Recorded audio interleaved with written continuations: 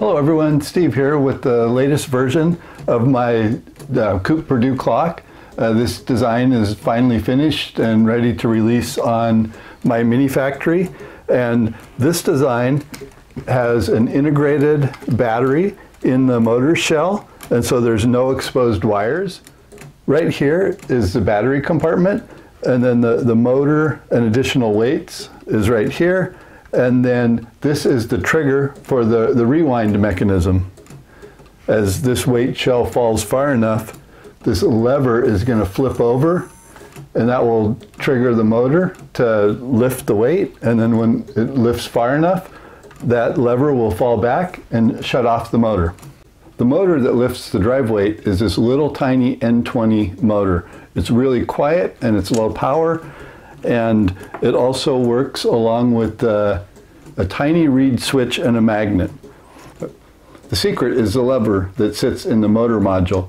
When the motor module tilts far enough, the lever will flip and there's a, a magnet on the lever and then a reed switch right next to it. When the lever flips, the magnet comes close to the reed switch, makes contact, and that turns on the motor. That will enable the motor until it flips back. Then, then the magnet drops away from the reed switch and everything shuts off. This is all of the wiring that's involved in building this clock. There's a battery compartment that runs power to the motor and to the reed switch, and then a wire that goes from the motor to the reed switch. So really just a couple of solder connections, and all of that tucks into this motor cavity.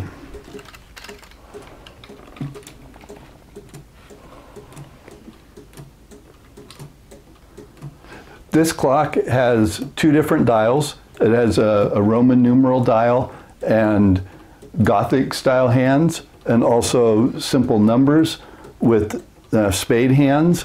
And the frame has hanging hooks built in so the clock can be a desktop clock or a wall hanging clock.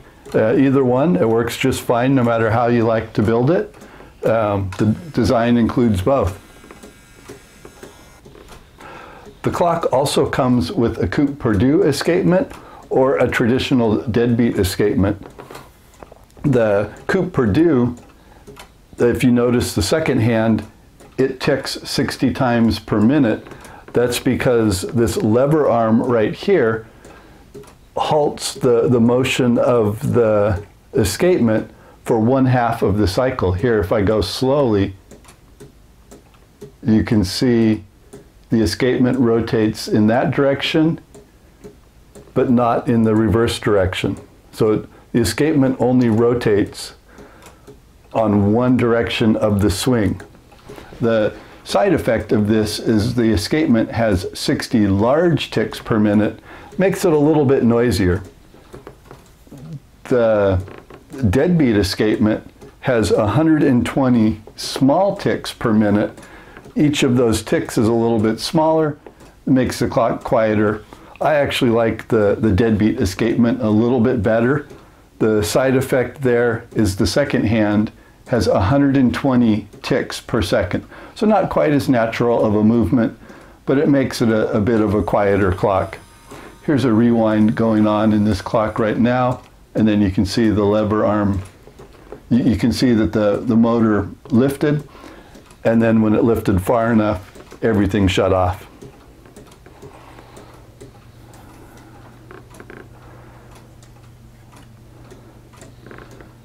Zoom into this clock for a second. It's just about to, to do a rewind. There's the trigger, the motor is lifting the, the module, and then the lever flips back out of the way. Uh, one thing you also notice is this clock has a knob on the back, and that can be used to change the time on the clock. Uh, right here is a little spring from a ballpoint pen that creates a friction clutch and that allows that allows this gear to rotate, but the gear that's being pushed by the motor uh, continues to drive the escapement. So the time can be set by allowing this gear to rotate and the clock still operates while you're changing the time. This knob, however, doesn't work if you have the clock mounted on the wall because it sticks out from the back. So this clock can be adjusted by just grabbing the closest gear to you, which is here in the upper left corner. It's the farthest forward of all of the outer ring of gears and just rotate that gear and then you can set the time. My other clocks would allow you to set the time by just pushing on the minute hand. Uh, that doesn't work when there's a second hand in the way. So this is an equally acceptable solution of setting the time on the clock.